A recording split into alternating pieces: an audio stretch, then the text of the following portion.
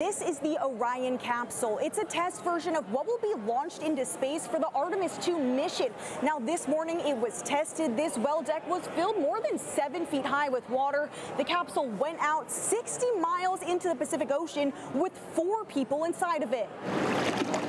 Once the capsule is in position, the mock splashdown begins. The recovery team has two hours to locate the capsule, retrieve the astronauts, and get them safely to the ship.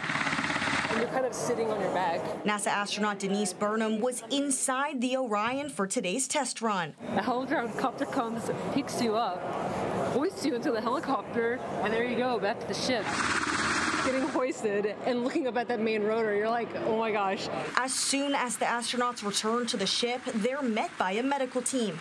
Meanwhile, small boats pull the Orion back into the well deck. And if you're wondering what it's like inside the capsule, well, that is a tiny space house. And the things that go on in there are the things that go on in your house.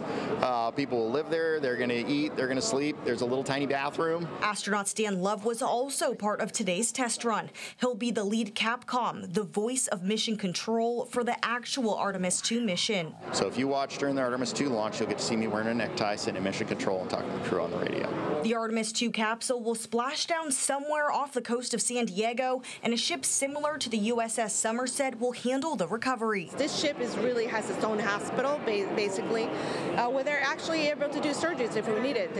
Um, they have uh, the uh, aircraft landing capability. Along with NASA and the U.S. Navy, the U.S. Air Force, the Department of Defense, and the Space Command all play key roles in the mission.